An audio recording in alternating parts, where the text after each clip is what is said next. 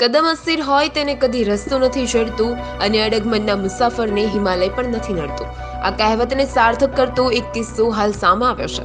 જેમાં આજ વિશ્વની પ્રથમ armless pilot Jessica Cox aeroplane ઉડાવે છે. તેના વિશે વિગતવાર વાત કરીએ તો જેસિકા કોક્સનો જન્મ બે ફેબ્રુઆરી ઓગણીસો ત્યાસીના રોજ એરિઝોના યુએસએમાં થયો હતો. જ્યારે તેણીનો જન્મ થયો ત્યારે તેણીનું શરીર સંપૂર્ણ સ્વસ્થ હતું, પરંતુ હાથ ન હતા. જન્મ પહેલા કરવામાં આવેલા કોઈ પણ પરીક્ષણમાં શરીરની આ સ્થિતિ શોધી શકાઈ ન હતી.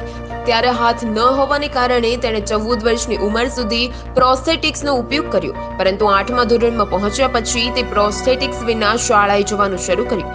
તેણીએ નક્કી કર્યું કે જેમ તે છે તેમ જીવનમાં આગળ વધશે. પરંતુ તે સરળ ન હતું. હાથના અભાવને કારણે બાળપણમાં તેને જમીન પર બાળકો સાથે રમવાની પરવાનગી પણ ન હતી. તે ઘરમાં તેની સપનાની દુનિયામાં રહેતી હતી.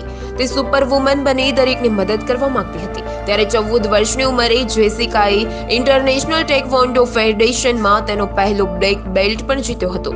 એક દિવસ એક બિન લાભકારી જૂથના સભ્યએ જેસિકાને પૂછ્યું કે શું તે એરોપ્લેન ઉડાવવા માંગે છે? તો તેનો જવાબ હા હતો.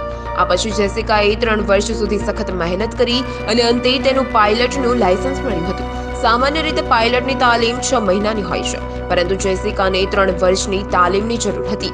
દિવસ રાતની મહેનતથી જેસિકાએ ત્રણ અલગ અલગ ભાગોમાં એંશી કલાકની પાયલટની તાલીમ પૂરી કરી હતી.